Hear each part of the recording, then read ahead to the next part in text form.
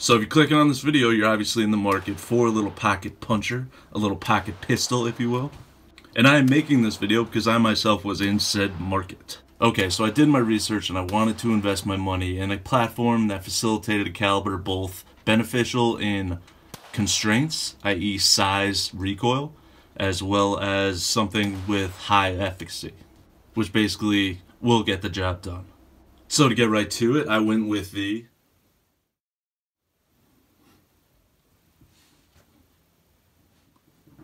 North American Arms. This model specifically is the Mini Master and is chambered in the motivated 22 Magnum, the 22 WMR, the 22 Winchester Magnum rimfire. And this cylinder has a 5 round capacity. Now, Johnny Post Production, if you could, for those who cannot visualize the difference between said Magnum round and a 22 long rifle, please hook us up with a motivated interjection. There we go, perfect. So as you can empirically see, these rounds are no slouch. And if you shop around, you can find variations of this round, such as CCI ammunition.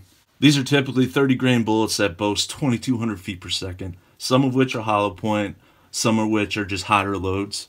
As you can see, the large boxes there are primarily predicated on hunting. But if you shop around, you can probably find multiple variations of it at certain price points. I have come to notice that these rounds are quite expensive for what they are. And we're moving on. So you're probably wondering, Sergeant Johnny, USMC, why the fuck did you go with a 22 Magnum? And to that, I would say, why not? This round I have far more confidence in than as if I were carrying a knife, or no secondary at all. This revolver in itself was a purchase primarily to supplement my primary carry, and affords peace of mind that I can protect both myself and those around me, whether they be family or strangers, that are not smart enough to support the Second Amendment if shit ever were to hit the fan. And for those of you naysayers who are saying that 22 caliber may not be the ideal choice, it is a 30 to 35 grain projectile traveling exceedingly fast and will get the job done. I bet you naysayers are giving the offenders far too much credit. I would put my money on the fact that if you punch let alone one hole in these fuckers, they will re-examine their flawed decision-making paradigm if not fall on the ground in the fetal position and start crying. Alright, so we're moving on from caliber choice to why this platform? Why a revolver? Well, I wanted something that would fit in my pocket comfortably without a holster, without any forethought into carry, which facilitates a very minimalistic carry, one that I can bring to the gym without worry and any kind of gear and carry it comfortably. So I went with a revolver over semi-automatic just for reliability reasons. Semi-autos are notorious for having consistent failures with the rimfire ammo, and rimfire ammo itself is notoriously unreliable. So I wanted to go with a platform that afforded the best chance for me to discharge and expend, whether it be one round or the full cylinder, towards a bad guy. So I did not come to make this investment without having other options. The other options I had was a Smith & Wesson AirLite model chambered in the 22 Magnum, However, I limited my shopping to my local gun haunts as opposed to going online and searching for models offered by Smith & Wesson which were mimetic to this. The model I came across was the Smith & Wesson AirLite model chambered in 22 Magnum and completely lives up to its name. However, it was a snub nose. I also was not a fan of the fixed notch post sights on the snubby. I completely concede that on this kind of gun, on this kind of use, a secondary pocket puncher, it is primarily used for up close and personal type shit. But I know me, and I'm at the range pretty much all the fucking time, so I wanted to get something that was more in line with my tangential use, i.e. range time with target sights and a proper sight radius.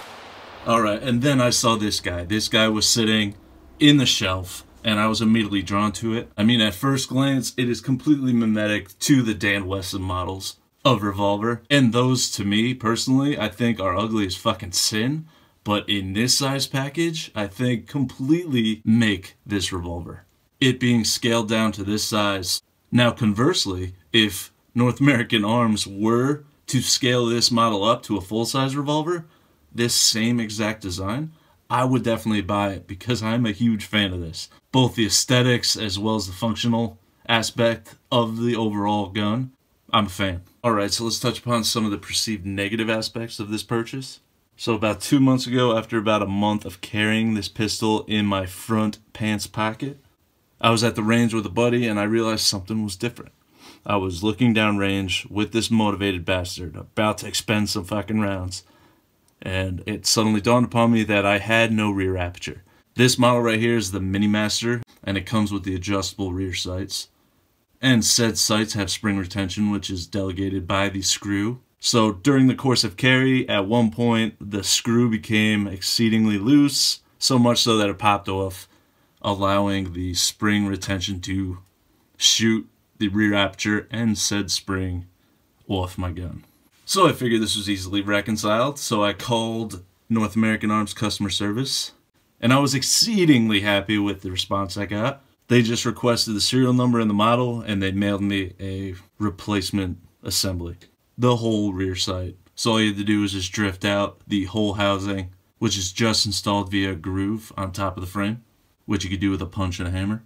So another negative attribute of this gun that you may inevitably come across is the grip. Now the grip is extremely comfortable ergonomically, but the retention is a little loose. But realistically, that's more of a gripe, so we're moving on. Okay, so another perceived downside to this purchase could be the loading unloading process, but after time and with muscle memory will come efficiently. But let's just go over that. So first all you need to do is cock the trigger partially till you hear the pop. Pull down on the tab. Pull out. Rotate the cylinder out. All right, there you go. Now you're able to both load and unload, which I found is easier to use this piece to, especially with expended brass, with the expansion, it kind of locks in the cylinder pretty good. Or you can do a proper field cleaning and get this beast back to par. And the reassembly is rinse and repeat.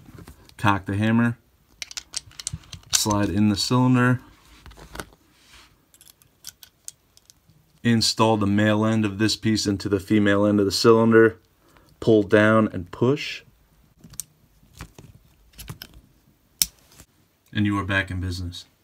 So the last perceived negative aspect of this gun could be the finish. I bought it new, but yet it came with scratches on the polished surfaces. And all I had to do to reconcile that was a quick sanding and polishing. I.e. sanding with a high count paper, following it up with some mother's polish. Alright, so enough with the negative Nancy bullshit. Let's go with some of the positives of this purchase, because again, I am a fan of this revolver. And the first attribute of this revolver that comes to mind is the barrel length. The barrel length affords this caliber a better chance to reach its full potential because, as you maybe don't know, barrel length is correlated with both speed and accuracy. I.e., the longer the barrel, the more time the bullet has a gas force behind it to both push it faster and put more rotation on it, both allowing both speed and set accuracy. Having the longer barrel also allows a greater sight picture. All sight picture is is just the distance between the front blade post to the rear aperture. And the distance between the two exponentially decreases the chance of human error. Alright, so another positive aspect of this purchase is again the sights. The sights are target sights and they're extremely beautiful. I really became a fan of that sight picture, especially with contrasted with the aforementioned notch post of the Smith & Wesson Snubby. And I mean, it says a lot that this company beat out Smith & Wesson in my eyes because I'm a huge proponent of Smith & Wesson revolvers. Lastly, the best attribute of this is the size to caliber ratio.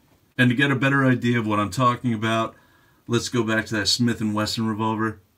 Now, to me, my first impression was it was a lot of gun for what it is. And to me, its function was no more than a small caliber gun. So that AirLite model I was contemplating was more along the lines of my perspective on Ruger SP series. And to me, the SP series is way too much fucking gun for what it is. And what it is is a five shot revolver that is built like a tank. Just complete over engineering. So basically, my two choices boiled down to a gun that was retrofitted to facilitate a smaller caliber and afforded maybe one more shot. I believe it was a six round. It could be a five round. Johnny post production will put in an annotation. Another pro of purchase could be the safety cylinder. Now let's get into a little bit of history. Uh, this company was originally Rocky Mountain Firearms, and they're based in Utah, and they started around 1972. They changed ownership around 1974, where they changed the name to North American Arms. And surprisingly, these pocket revolvers' design originally came from Freedom Arms. And they stopped selling them, I believe, early 90s, where North American Arms purchased the design. And from that point, they made changes to said cylinder. They augmented the cylinder with the slots in between the cylinder ports, which allows the hammer to rest safely on it while carrying and not resting on the housed munition. So ultimately, if you're in the market for a little pocket puncher, this is an outstanding option. So I'm a huge fan of this little revolver. It is both fun to shoot and practical as far as a secondary carry choice. So if you agree and or disagree, let me know down in the comments below. And if you don't like leaving comments, let me know in the comments below. And if you don't like being called out for not liking to leave comments, leave a comment below. Er,